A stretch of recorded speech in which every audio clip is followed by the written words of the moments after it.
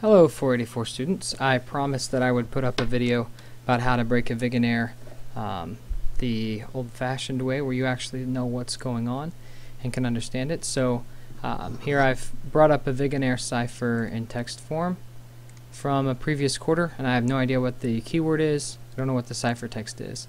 So I'm going to go, first thing I want to do is take a look at the Kasiski-Babbage analysis stuff. So I'm going to find the substrings here.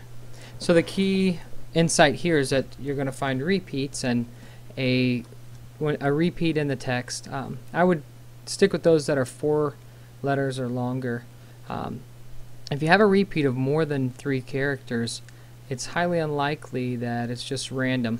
Uh, it could be possible, but it's most the most likely outcome or cause actually the most out likely cause is that the plain text, there's a word in the plain text or a sequence of characters in the plain text that got encoded at the exact same spot on the keyword. So if you remember, the keyword is a systematic way to cipher through um, monoalphabetic substitutions.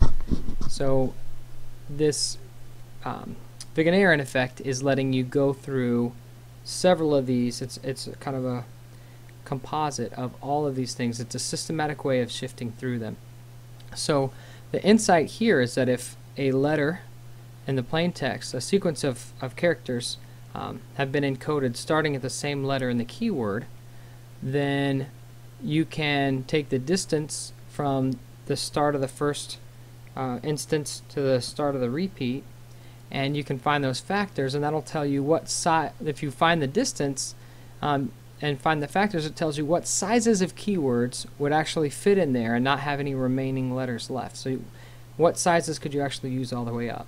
So when we look at this, we see several things that pop up consistently. There's two, three, four, five, you know, lots of things. Um, but then we look here, only 2, 3, and 6 will pop up. 2, 3, 4, 6, 8, 2, 3, 6, 7. So 6 and 3 and 2 seem to be in here most of the time. Well, 2 and 3 are factors of 6, and 6 is the largest we can find, so I'm going to take a guess that this is a keyword uh, with link 6. A 6 character keyword. So with that in mind, I want to go to these tools here. I'm going to go to the splitter tool, paste the ciphertext in, say I want 6 columns, which will separate this out into 6 different text actually. And the idea here is that we are separating it um, into chunks that were encoded with the same alphabet. So here it listed in columns, and if you keep going down, it gives you everything, the first column in a uh, row format here with no spaces. So I can copy this and go back to the cipher tools and look at the frequency tool. Paste this in, and remember I said it's just a it's a group of monoalphabetic substitutions. So if you take letter frequencies, the most frequent letter here is W. So in this alphabet, the most the plain text letter that probably showed up the most is E, and it's being encrypted as W.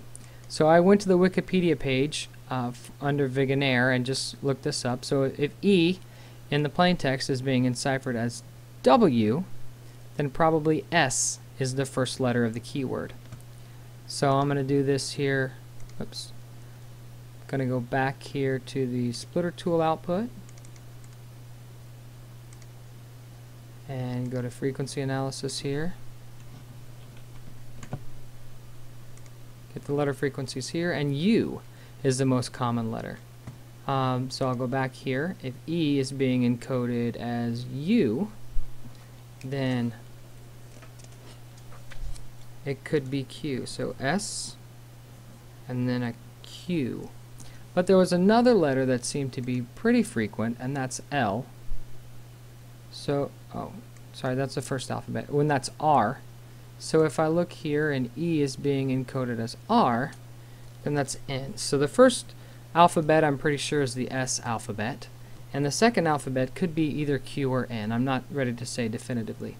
I'm going to stop this video and there'll be a part two coming soon.